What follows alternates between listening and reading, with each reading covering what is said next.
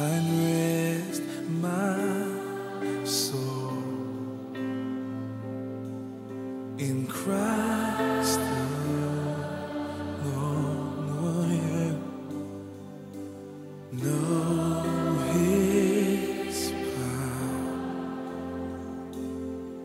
in quietness and trust when the oceans rise. I will soar with.